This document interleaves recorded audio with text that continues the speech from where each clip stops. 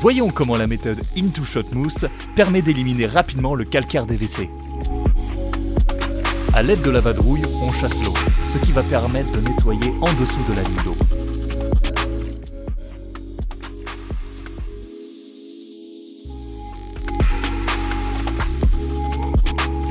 On applique ensuite Into Shot Mousse.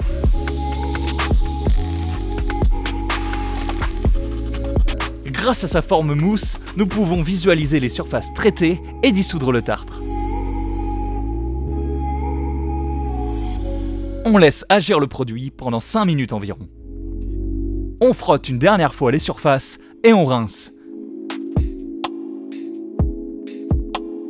Enfin, on essore la vadrouille à l'aide du cône, laissant la cuvette parfaitement propre et détartrée. Into Shot Mousse, la fin du calcaire dans les WC.